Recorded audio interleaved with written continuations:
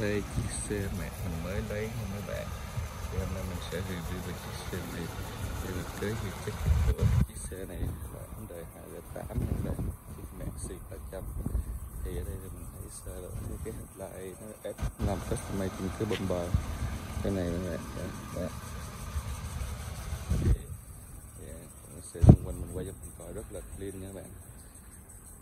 Thì chiếc xe này có khoảng 200 ngàn là ghế da các bạn. Có sunroof chạy rất là ngon các bạn. Với các bạn. Gặp coi rồi mình sẽ mở nó thích trăm cho bạn coi rất là đẹp xe 300 nha bạn. Rất là bền chạy rất là ngon thẳng băng không có gì hết. Clean thay đồ luôn. Ok yeah, mình kiểm nữa này. Cái này cái đèn này extra nè bạn. Yeah. đây mình mở cho bạn coi cho. Xe rất là đẹp các bạn trong một cái sang Yeah, that's cool. Yeah. nên người ta sang trọng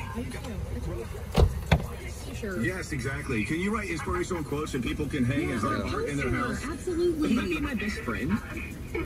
I would love to be your best friend.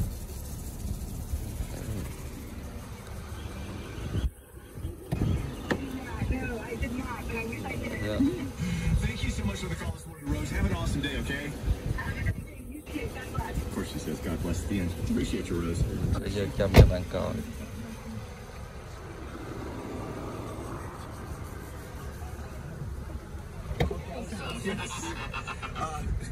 You the karaoke thing trong thì mình thấy có một cái hai cái đặc biệt của chiếc xe này if you đầu tiên do. là mình mở nhẹ nhàng lại nè Bạn thấy không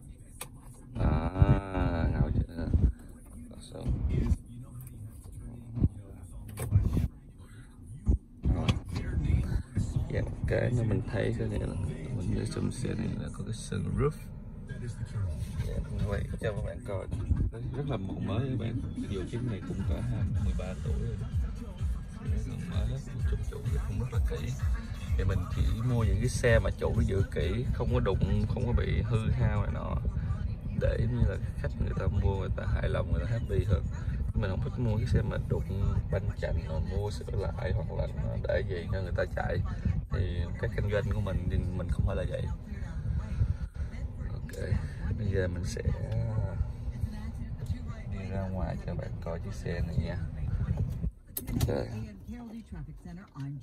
Thì cái xe này mình thấy rất là ok các bạn. Cái xe mình mua chỉ có 5 ngàn thôi. Mình thấy nó rất là ok, chiếc xe 5 ngàn, chiếc mạc đẹp nha nghĩ là mình về mình bán liền luôn á. Mấy bạn thấy như nào thấy mình đăng cái này lên, anh thích thì các bạn nhắn tin mình. Mình không nghĩ nó có lâu đâu. Ok. Tạm biệt các bạn.